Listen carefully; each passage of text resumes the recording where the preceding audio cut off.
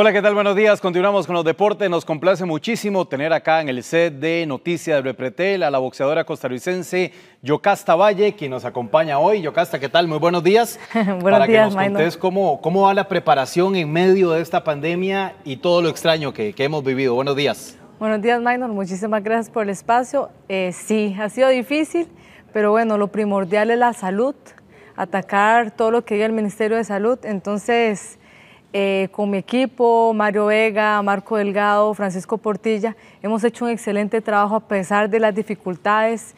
Eh, cuando empezamos a ir a Furati, eh, que tenemos todas las condiciones por dicha, em, hemos hecho una buena preparación en la parte física.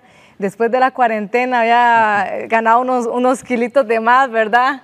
Em, pero por dicha mi entrenador, por la buena preparación, dice, bueno, Yoka, por dicha usted levanta súper bien, eh, ya estaba en un buen nivel para pelear en cualquier momento, porque esto se puede acabar en, en, cuestión de segundos, puede ser que una semana y hay que estar listos, ¿verdad? Eh, eso, eso es bueno, todo boxeador, a mí siempre me gusta después de cada pelea, lo máximo que tengo es siempre una semana de descanso y volvemos de una vez porque sé que en cualquier momento se puede dar una gran pelea, una pelea importante eh, otro título mundial o una buena, otro reto, ¿verdad? Que me encantan los retos y tenemos sorpresas porque ese es trabajo de mi promotor Mario Vega, buscar las peleas.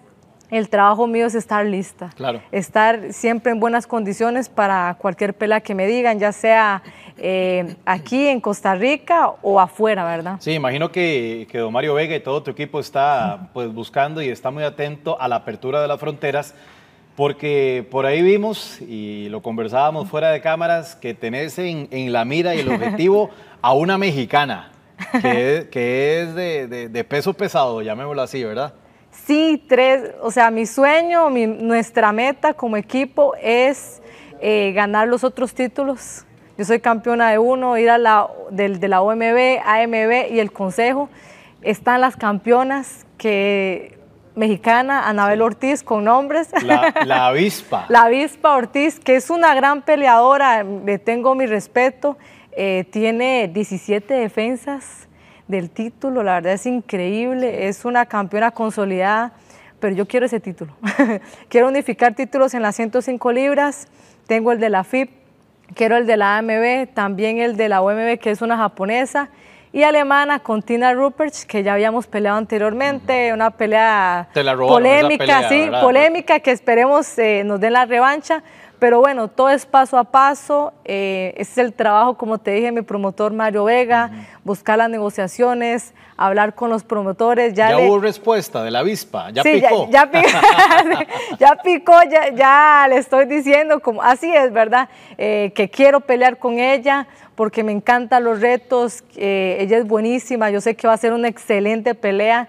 Eh, mi entrenador Marco Delgado, yo sé que me va a preparar exactamente para ella, porque él dice, todo es diferente cuando hay una preparación, se pelea él hace la preparación respecto a la, a la, peleadora. Muy real. Sí, exacto, porque por lo pequeña, más grande, ella es más pequeña que yo, pero es fuerte, va hacia adelante, tira mucho golpe, mucho curva. Entonces, le hemos estudiado. En esta cuarentena vi los videos de ella. Eh, lo bueno que tiene, lo malo, que hay que este, fortalecer en la parte mía. Entonces, picó, ¿verdad? Y ahí contestó en una entrevista que sí, que hagan las negociaciones con mi promotor Mario Vega y ahí está que esperando Mario el teléfono para ver cuándo se puede hacer. Por eso te dije, hay que estar listos. En cualquier momento se puede que digan, bueno, ok, Yoka, si al rato dicen, no está lista, ya está ella, en un mes si quiere acepta la pelea, si no, no. Lo importante es que ya hubo un acercamiento y una respuesta de, de Anabel Lavispa Ortiz.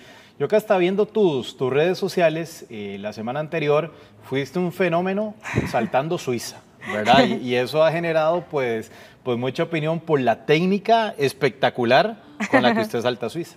No, muchas gracias. Sí, la gente le llamó bastante la atención. Es un ejercicio, diría, ahorita en esta cuarentena, barato, con solo una cuerda, pero yo les digo, si les gusta, si quieren saltar como yo, tienen que hacerlo con la técnica adecuada, eh, lo subo en mis redes sociales porque es importante. Me ven ahí, son muchos años de práctica. Un boxeador sin la Suiza no es un boxeador, yo digo, ¿verdad? Eh, ese título y esa frase me llamó la atención. Boxeador que no salta a Suiza no es boxeador. Exacto, así que si es un boxeador tiene que saltar, está bien, ¿verdad?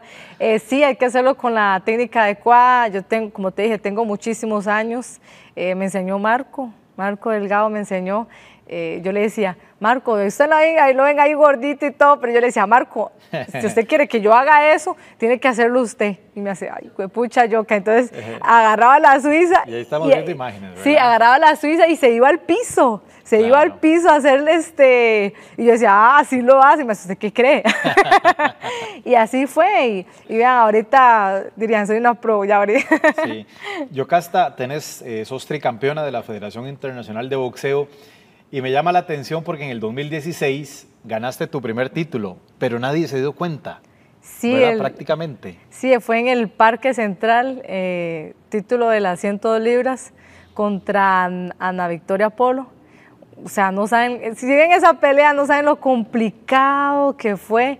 Eh, de hecho, ese día llovió un toque, se mojó la lona, eh, uy, no, complicado. Fue una pelea que en serio, yo los últimos rounds, yo no aguantaba las piernas por, por una cuestión de, como te digo, todo, es, todo es de tiempo. Dicen, bueno, quieren el título de la, de la FIP, eh, quieren que pelearlo en un mes, si no, sí, la preparación fue muy intensa. Muy, exacto, fue como no completa, no fue muy la completa, pero teníamos que aceptar esa pelea. La aceptamos y con esa mexicana, las mexicanas son de las peleas más duras que he tenido, por eso yo sé que va a ser una gran pelea con, con Anabel Ortiz.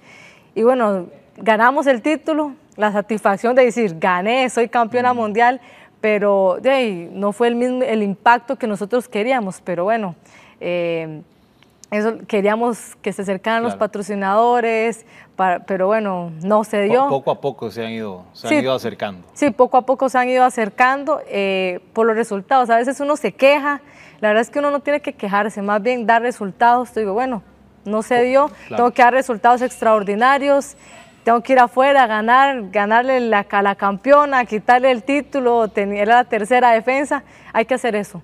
No hay que quejarse, no hay no hay que quejarse, más bien dar resultados y decir, bueno, aquí estoy, ahora sí, vamos, vamos, me van a patrocinar no. Eh, eh, ese mensaje para cerrar me parece muy oportuno en medio de todo, ¿verdad? Porque así como lo, como lo lanzás para el entrenamiento de boxeo, creo que todos lo tenemos que aplicar en todas las circunstancias y todos los campos de, de nuestra vida. Yocasta, muchísimas gracias por haber venido acá a Noticias Repretel. No, muchísimas gracias y darles a todos un mensaje que nos cuidemos.